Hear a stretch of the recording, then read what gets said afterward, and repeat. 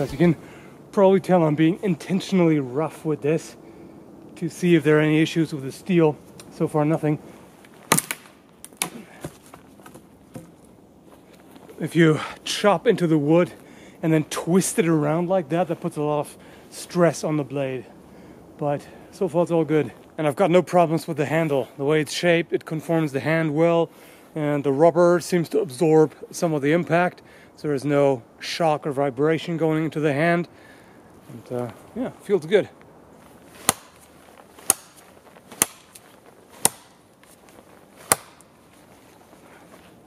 Bites in very well. It just has a tendency to get stuck a little more easily than some other blades I've tried.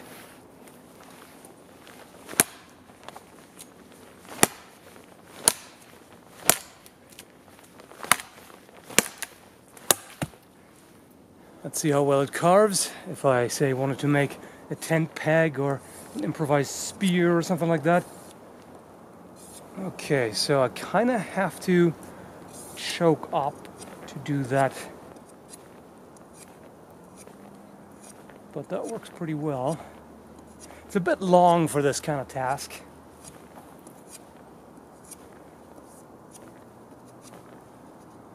Can be done, but it's not ideal. It would be better to have a, a smaller knife for that. Although, I suppose for a rougher job, you can always do it like this.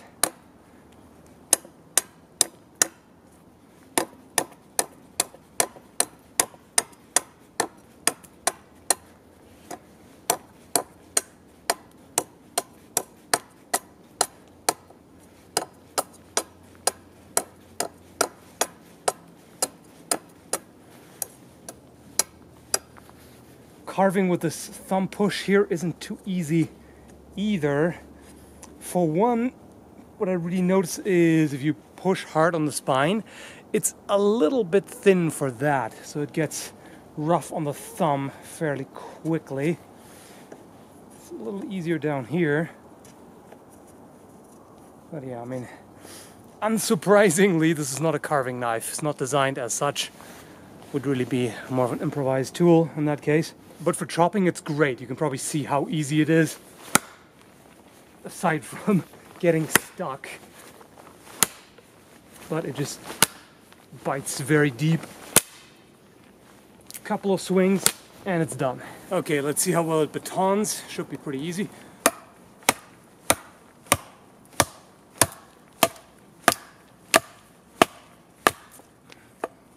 No problem. When batoning, I noticed some hand shock, which is not surprising.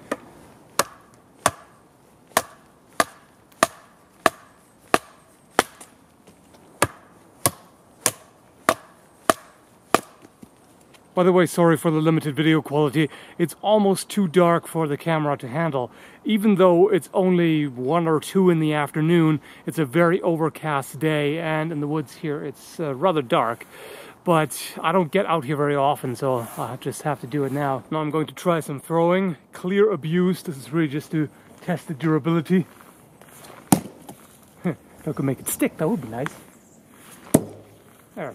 As always with knife throwing, with a spin throw that is, it's just a matter of figuring out the right distance or the correct grip for that distance. Get the proper number of ro rotations and then you can do it consistently. I haven't practiced enough to be able to figure all of that out intuitively. So I'll have to go by trial and error. But uh, yeah, seems to work quite nicely.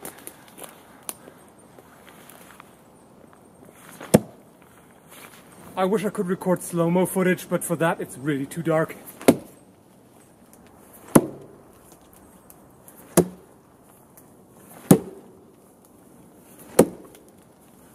Try to find a brighter spot, but it's still not great.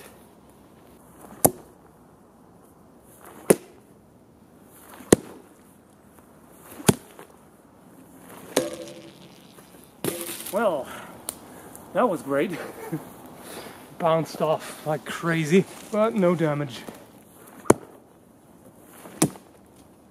Yeah, I think we can leave it at that. Goes to show that it's not easily damaged. People often associate this kind of blade shape with sort of an axe sword hybrid. So could you use this as a bit of a substitute axe? Not really. An axe is substantially more powerful and more well suited for wood chopping, but I'm just gonna give it a try here. So I found a dead tree. I don't know just how rotten the wood inside is, if this works out well, but we'll see. So.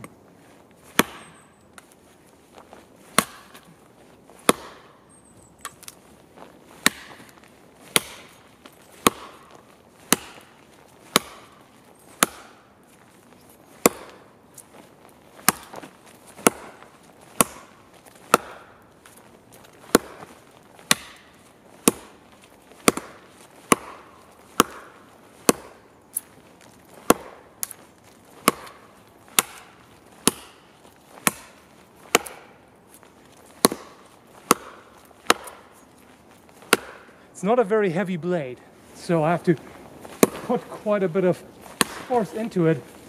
The blade doesn't help me a whole lot.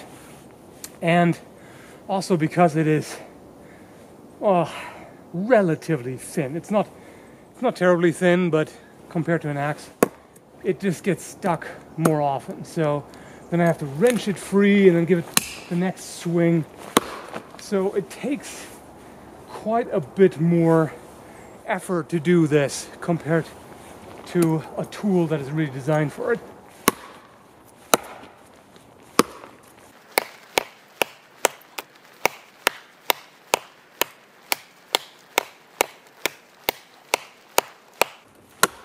I mean, as you can see, it would do it eventually, but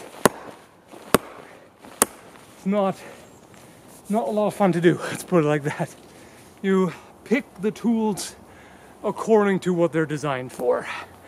And uh, in a pinch, this can do a lot, but it's really more for light and medium chopping. A couple more whacks from the other side, and then I'll leave it at that. Let's see, I'll try to make sure to strike it in just the right spot.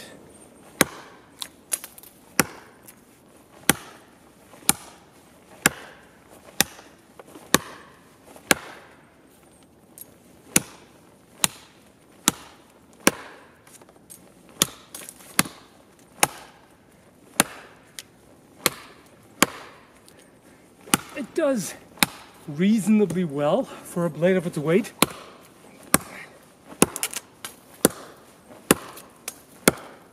But uh, yeah, lots of effort.